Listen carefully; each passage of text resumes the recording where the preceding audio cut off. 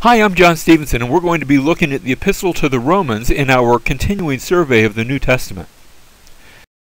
I want to suggest to you that the epistles are to the Gospels what the prophets are to the Torah. You know, you have Moses giving the law, that's the Torah, and then after that, at a later date, the prophets come along and they explain the Torah, apply it. Yes, they give prophecy of the future, but they also tell what God is doing in the present on the basis of the law that had been given back in the Torah. Likewise, the Gospels tell the story of Jesus, but when we get to the epistles, they act as a commentary on what we do with the life, death, burial, resurrection of Jesus, how that impacts our life today.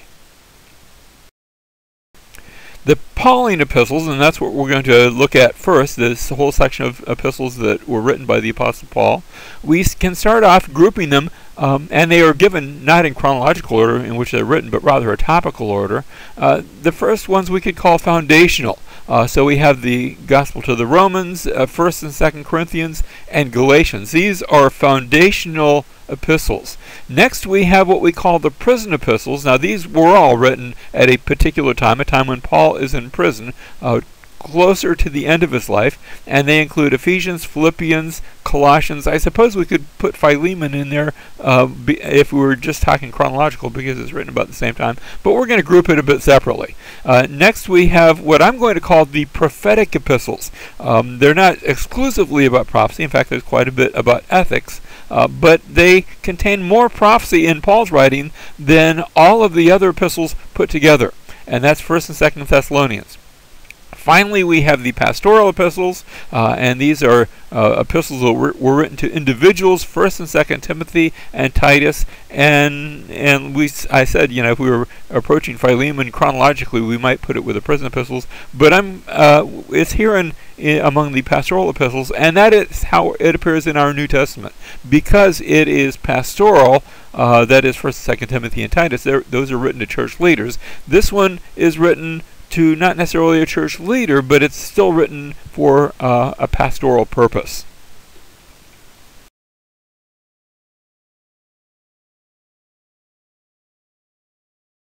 Now we come to the Gospel of Romans, and the big idea in the book of Romans is the righteousness of God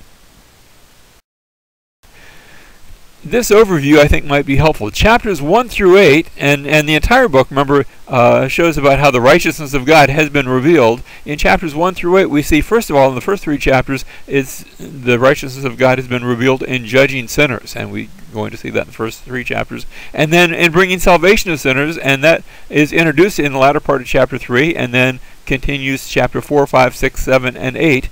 And in chapter 9, um, Paul asks the question, wait a minute, what about Israel? And so the righteousness of God has been revealed in God's dealings with Israel. And finally, in chapters 12 through 16, the righteousness of God has been revealed in the lives of those who follow him. We could describe the first 11 chapters as doctrinal in nature. The last, chapters 12 through 16, are more practical. They give the so what. Here's how you live on the basis of all that we've taught you. But notice we have that phrase in chapter 1, verse 5, the obedience of faith. And when we come to chapter 16, verse 20, again we see that phrase, the obedience of faith. So we go from, from faith to faith throughout this entire epistle um, as we look at this major theme of the righteousness of God and the way in, it has, in which it has been revealed. Paul starts off after his introduction in chapter 1, verse 16 I am not ashamed of the gospel because it is the power of God for salvation to everyone who believes. Um, in it, that is, in the gospel, the righteousness, and here's, here's introducing our main theme. We said the righteousness of God is our main theme. In that gospel, the righteousness of God is revealed. Now, that brings up a question. How is the righteousness of God revealed in the gospel? Well, we see that in chapters 1 through 3, where the wrath of God toward those who sin is seen that God is righteous. God is righteous because when somebody does acts of unrighteousness, God's anger is displayed. His wrath is revealed. But when we get to chapters 4 through 8, the good news is that the grace of God toward those who believe is seen, and depicts and upholds that same righteousness of God. So the righteousness of God results in condemnation of the sinner. And you say, wait a minute, we've all sinned. This, that, that would result in the condemnation of all of us. But the good news is the righteousness of God has also brought about, as it matches and meets the love of God and the grace of God, it results in that righteousness being fulfilled in Jesus on our behalf.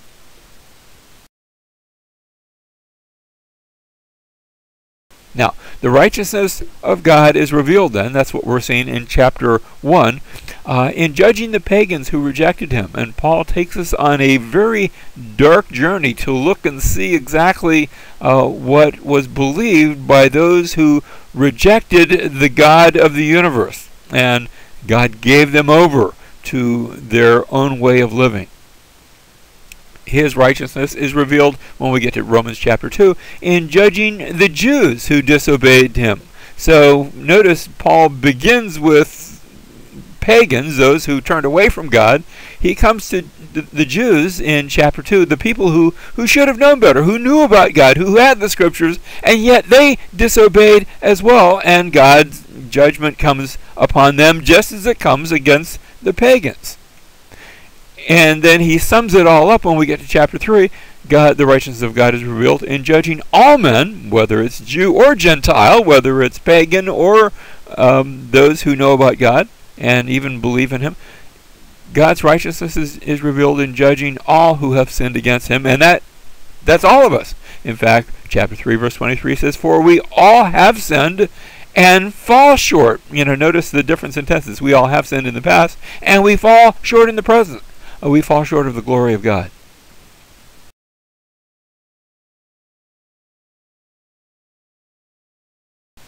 Here's that verse again. For all have sinned. The Greek word there, uh, hamart, uh, is the idea of you know to to sin, to fall away. Uh, comes from it's the aorist active indicative of hamartano, um, literally to miss the mark. It's actually translated that way uh, once in the Septuagint of the Old Testament. Uh, and by aorist tense, it's looking to the past tense. All have sinned, but notice, and they fall short of the glory of God. Let's read the rest of uh, the next two verses. Being justified as a gift by his grace through the redemption which is in Christ Jesus, whom God displayed publicly as a propitiation in his blood through faith. So all have sinned. But notice being justified. Now, to justify something it just means to declare that it is just, to declare that it is righteous. It doesn't make it righteous, it doesn't make it just, but it declares it to be. It recognizes the justice of something. When I when I justify my actions, I'm I'm trying to explain and say why they are why they are just, why they are right. We have been declared righteous, we have been justified Notice, not on the basis of what we did, because what we did was we sinned. We fell short of the glory of God. But we have been justified as a gift by His grace. Which brings us, that brings us to the next important word His grace. The word grace speaks the, uh, the Greek word uh, chariti, uh, from the uh, root word charis. Um, it speaks of a gift that is given. Now, the word grace is very close to the word for mercy. Now, I mean, they don't sound alike, either in English or in Greek, but the ideas there are very close. Mercy is not getting the punishment that you deserve. You deserve, you know, something bad, and the judge shows mercy, and you don't get that, that punishment. Grace is the flip side of that. Grace is getting the good thing you do not deserve. Now, let me say that again. Mercy is not getting the bad thing you do deserve. Grace is getting the good thing that you do deserve. It's like if you're pulled over by a police officer because you've been going over the speed limit. Mercy is when he does not give you a ticket. Grace is when he gives you a box of donuts. That's a wonderful thing. Excuse the illustration. Um, justified by by his, we've been justified as a gift by his grace through the redemption. Let's take that next word through the redemption. The uh, genitive singular of apolutrosis. Um, actually, a compound word. The apo part means uh, from, like like um, well, I'm not going to get into, into other roots that have that. And then lutrosis is to set free. So we've been set free from. Um, and that's what redemption is. It's a term that speaks to slavery. When a slave was set free, you could say he's redeemed. When the people of Israel had been slaves in Egypt and they were brought out of Egypt, the Old Testament says they were redeemed. They were set free. They were liberated. That's a good word for it. And we have, you know, by God's grace, we have been liberated through the liberation which comes, which is in Christ Jesus. Whom God displayed publicly, here's our last term that we're going to look at. He, God displayed publicly as a propitiation. Now, we don't usually use the word propitiation today, uh, the Greek word there, hilasterios. Uh, actually, it's interesting because that term, that Greek term, is used in a couple places in the New Testament to describe the the cover of the Ark of the Covenant, that place that symbolized the throne of God, and the um, the high priest would come in once a year and sprinkle blood upon the lid of the ark, and it's been translated in our English Bibles the mercy seat, but the word that's translated mercy seat is actually from this Greek word here, the propitiation, or let me give you a, a, a synonym for that word, the satisfaction. It's the place where God's anger is satisfied. And the place where God's anger was satisfied was Jesus on the cross. In his blood through faith. When we trust in him, we find that we have reached a place of where God's anger against us was satisfied. Notice the progress here. We sinned, and that was met by God's grace, which results in propitiation, his satisfaction with what Christ did on our behalf. And as a result of God's satisfaction, we are redeemed, that is, we are liberated, we are set free from our sin and from the penalty of that sin. And we have been now declared not just free, but we have not been declared just um, not just forgiven, but we have been declared righteous. We have been justified. We've been declared righteous. Now that brings up a question. How can God declare me to be righteous when, frankly, I'm not righteous? How is a person justified? And that is answered in chapter 4 of Romans. Romans chapter 4 verse 1 what, sh- what then shall we say that Abraham our forefather according to the flesh has found? For if Abraham was justified by works he has something to boast about but not before God. So uh, you know wh- how was Abraham uh, justified? Was he justified by works? No he would have something to boast about but that's just not the case. We go on to see in the next verse for what does the scripture say? And, and Paul quotes Genesis chapter 3, verse 15. Abraham believed God, and it was, here's another word that we're going to have to look at a bit, credited to him. And I love the way the New American Standard is translated. Credited to him, I guess they could have said reckoned, it would mean the same thing the aorist passive indicative of logizomai. Uh, notice it's a passive voice, which means that uh, Abraham didn't do it, it, it happened to him. It's an aorist point tense. That's just looking at the time back in Abraham's life when, when this took place. It wasn't a continuing thing. It looks at it as sort of as a, an action in the past. Uh, Abraham believed God, and it was credited or reckoned to him as righteousness. Now, to the one who works, Paul goes on to say, his wage is not credited as a favor. Notice the repetition of that word, but as what is due. But to the one who does not work, but believes in him who justifies the ungodly, his faith is credited. Same term there. This time it's present passive. Uh, in other words, it's still passive voice, but now we're talking now about what's happening happened in Abraham's life in the past, but what happens to us uh, now. The one who believes in in him, that is God who justifies the ungodly, who declares righteous the uh, unrighteous, who declares godly the ungodly, his faith is credited as righteousness. You see, what takes place is what we call imputation, where on the cross, when Jesus was on the cross, our sinfulness was reckoned or credited to him.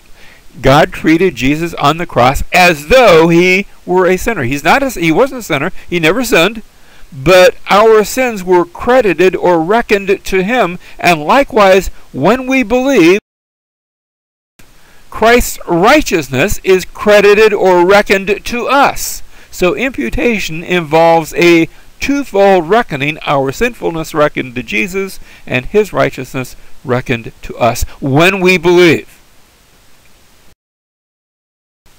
So that the righteousness of God, remember that's the big idea in Romans, the righteousness of God is revealed in reckoning men as righteous by crediting them with the righteousness of Christ. That's chapter 4. That's what chapter 4 is all about. When we get to chapter 5, the righteousness of God is revealed in declaring men to be righteous on the basis of the reckoning described in the previous chapter. So we're going to see how Paul takes that and puts it all together. Romans chapter 5 verse 12. Therefore, just as through one man sin entered into the world, now we're talking looking back at Genesis and, and Adam. Uh, Adam sinned, and, and by Adam's sin, sin entered into the world, and death through sin, and so death spread to all men because all uh, all sin. Notice how he, he starts off with a just as. Now he's going to get to an even so, but first he interrupts himself.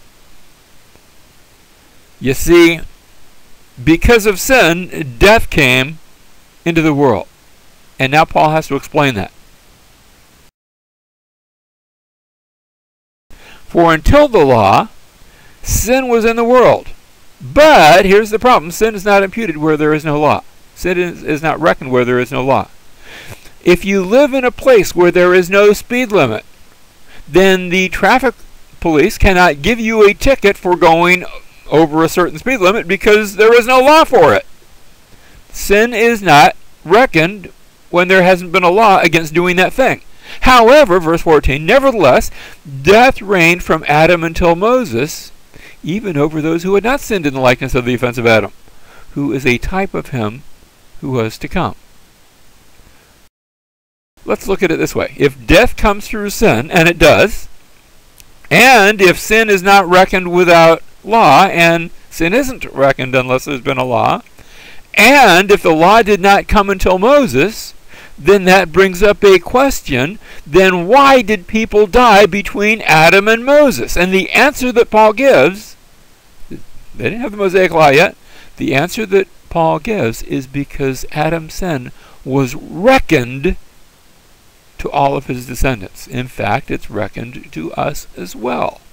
You say, wait a minute, I wasn't there. Well, no, but your representative your great great great great great great great and a bunch more greats your granddaddy represented the entire human race and when he sinned it is as though you sinned too that's the bad news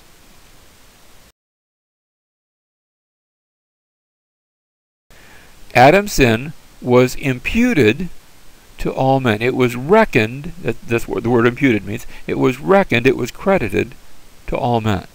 That's the bad news.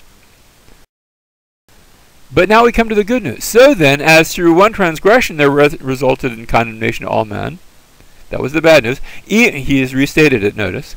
Verse, um, the rest of the verse. Even so, through one act of righteousness, that is, Jesus going to the cross, through one act of righteousness there resulted justification of life to all men. For as through the one man's disobedience the many were made sinners, even so through the obedience of the one the many will be made righteous. So in the same way that that Adam's sin was credited to me, so likewise the righteousness of Christ has been credited to me when I believe. So the righteousness of God is revealed in reckoning men as righteous by crediting them with the righteousness of Christ. We saw that in chapter 4. It is revealed in declaring men to be righteous on the basis of the reckoning described in the previous chapter. That's what we just saw now in chapter 5. But that brings up the question what about sin? If salvation is just a matter of righteousness being credited, does that mean I can go live as I please? Does that mean I can go sin a lot? And can Paul asks the question in chapter 6 Can we continue to live in sin? And he replies, Absolutely not. No way. What about, though, the sin that is still in our lives as Christians. You know, you, you ever notice you, you came to Christ and and you didn't suddenly stop, you know, once and for all forever sinning. None of us have. In fact, later on uh, in in First John, we're going to to read that if somebody says he has no sin, he deceives himself, and the truth isn't in him. And the truth of the matter, Paul describes his own crisis of faith and walk of faith about how there were things that he wanted to do that he didn't do, and things that he didn't want to do that he did. What about the sin that is still in our lives? And he points out there is still that presence. But the good news is that the Lord has adopted us as his children. So he's declared us to be righteous. He has put the Spirit within us. And that Spirit is a spirit of adoption where we become his children through that process of adoption. God, you know, when you when you have a baby, that's nice, but when you adopt a baby, that's something you're determining and choosing. You're saying, "I'm going to choose," and God chose us, and He adopted us as His children.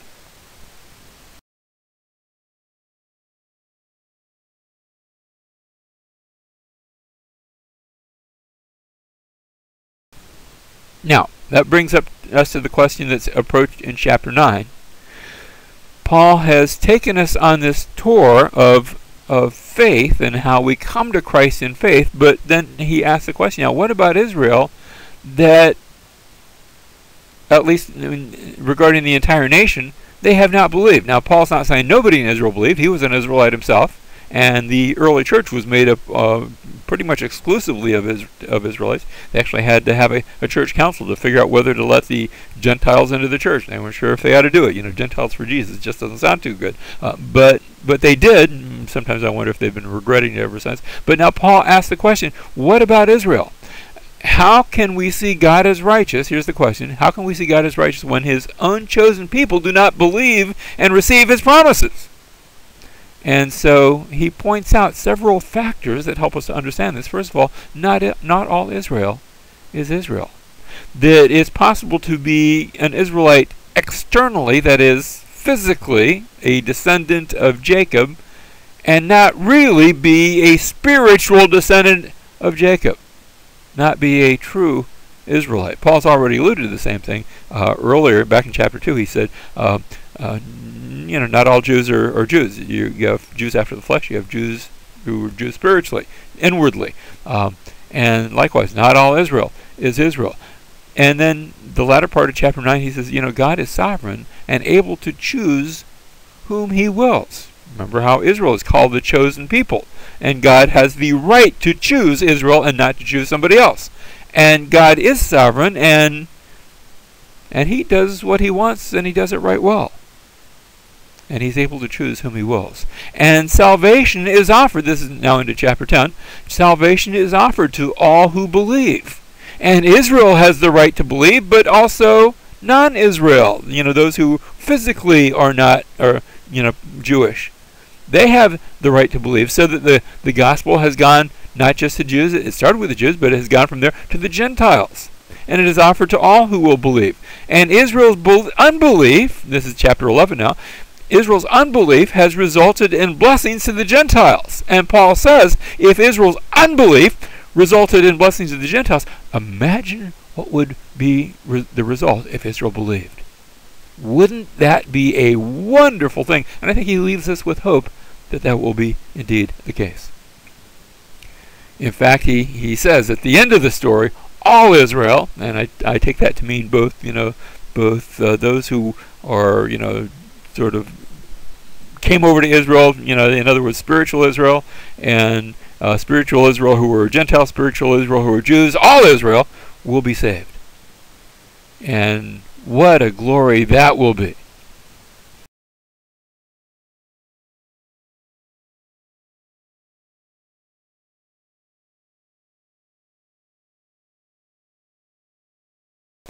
Now we get to chapter 12, like we said, chapters 1 through 11, that's the doctrinal section. Chapters 12 through 16 now are the practical section. section. They give the big so what. In chapters uh, 1 through 11, we've had all the things that we are to believe. Chapters 12 through 16 all the things that we are to do as a result of having believed. So he starts off here in chapter 12, verse 1 I urge you to present your bodies a living and holy sacrifice to God, which is your reasonable service, and do not be conformed to this world, but rather be transformed by the renewing of your mind. And then he begins to lay out what that looks like in the life of the Christian.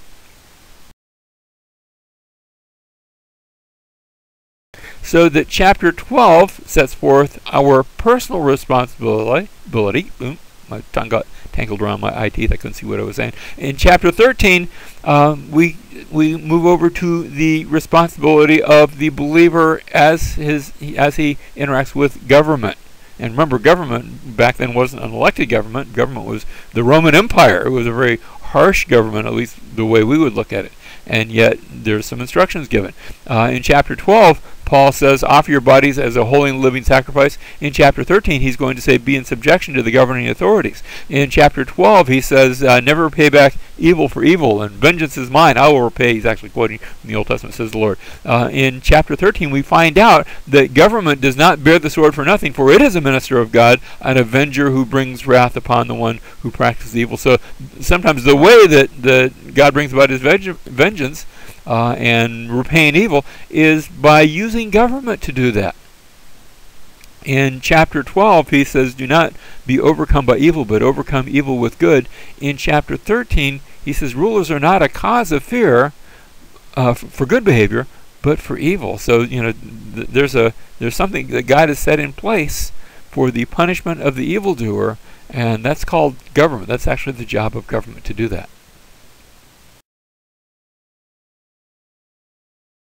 Now we get to chapters 14. Uh, in chapters 14, the first part, um, verses 1 through 12, God, uh, Paul says, "Do not judge one another." And then his theme changes in chapters 14, verses 13 through 23. Do not offend one, one another. So he speaks against judging, but then he speaks against causing offense, which might cause somebody else to judge you. Finally, we come to the closing chapters. Now, I want to I'm actually going to put these in parallel. I'm going to go back to chapter 1 and now look at the closing chapter beginning in chapter 15. Um, in chapter back in chapter 1 verse 13 uh, and we we sort of skipped over that. We just said how Paul gave a, a brief introduction. Uh, but in that introduction Paul had said I often plan to come to you to you Romans. Paul had never been to Rome. He's actually writing this epistle to a church to which he's never been and he said, I often planned to come to you, but was hindered. And now he's repeating that in chapter 15, verse 22. I've often been hindered from coming to you. Uh, in chapter 1, he had said, and notice, uh, actually a little bit earlier, uh, he had said, I long to see you that I may be encouraged with you. Now in chapter 15, verse 24, and, and we're doing putting it in the right order. I trying to parallel these things. I hope to see you in passing and be helped on my way. Uh, back in chapter 1, verse 8, he had said, Your faith is proclaimed throughout the whole world. He's repeating that now in chapter 16, verse 19. Uh, the report of your obedience has reached all. In chapter 1, verse 5, he had said, uh, I'm, I'm here. My my mission is to bring about the obedience of faith to all the Gentiles. In chapter 16, verse 26, and we noted this already, that he uh, talks about how the gospel has been made known to all the nations, leading to obedience of faith. So that in chapter 16 now, and we're at the very last chapter, uh, Phoebe is commended. Now this is a, a woman who had been serving the church. Uh, in fact, the the way she, the way she's described, she is a servant. Uh, the way you say that in, in the Greek, you say she is a deaconess and it's you know scholars have argued whether that's the she actually held a position of women deacon, or if that's just more of a general term. She was, a, you know, she served the church, uh, maybe not in official capacity, uh, like the term would, you know, might suggest, but just commended. And I'm not sure which it is, uh, but uh, she is commended. You know, she was a worker and had been helpful in the church, and and Paul says, uh, you extend her a greeting. He says, I commend to you our sister Phoebe, uh, who is a servant of the church which is at Cenchrea, that's uh, going to be in Greece near Corinth, that you receive her in the Lord in a manner worthy of the saints, and that you help her in whatever manner matter she may have need of you, for she herself has also been a helper of many, and of myself as well. Uh, as I said, she, you know, she's serving as a servant in the church. In the church, which is at Cenchrea. Now, uh, if we look at a map of Greece, um, I'm going to blow that up really quick. Don't want to spend a lot of time here. Uh, but just blow that up and you can see where Corinth is, but you can also see where Cenchrea is. There's a picture of Corinth. And here's a picture of Cenchrea right on the coast. Uh, there's not much left of it these days. A little, little bit of uh, um, you know some dock places, and it was it was served as a port for Corinth. Uh, Corinth was like a, about half a mile inland, whereas Cenchrea was was right on the on the on the coast.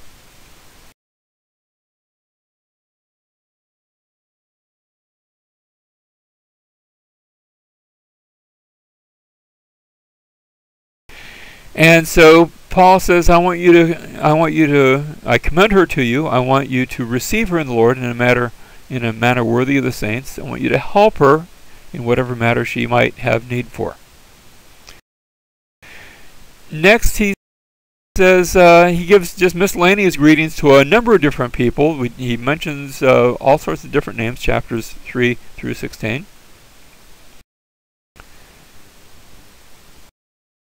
Then we get to chapter 16, verses 17 through 20, and he gives a warning against dissensions.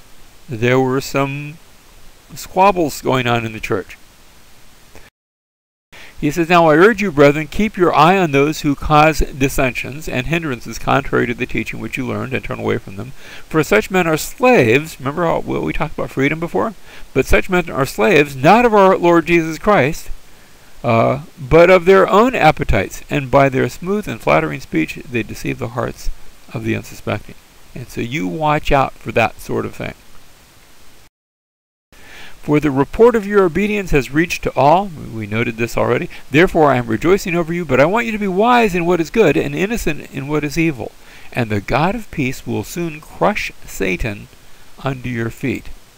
The grace of our Lord Jesus be with you. Sort of that, that, that benediction, the God of peace will soon crush Satan under your feet, reminds me a bit of that promise way back in Genesis chapter 3, verse 15. Uh, a promise given, uh, spoken on in the instance where, where man and woman had sinned, and God comes and puts a curse on the serpent. Um, but notice it's not the serpent that is mentioned here, it is Satan. Uh, I believe the power behind the serpent uh, and the promises that Satan is going to be crushed under your feet. You can sort of imagine a, a man stomping on the head of Satan, and that is a promise that's given here as well. Well, we had the warnings against dissension, and now we have more greetings. Notice how we had miscellaneous greetings in verses 3 through 16. There are uh, greetings, there's a, a benediction of grace. And finally, we have the closing benediction, in verses 25 through 27. Let's look at that. Now, to him who is able to establish you according to my gospel and the preaching of Jesus Christ, according to the revelation of the mystery which has been kept secret for long ages past, but now is manifested, and by the scriptures of the prophets, according to the commandment of the eternal God, has been made known to all the nations, leading to obedience of faith to the only wise God through Jesus Christ be the glory forever. Amen.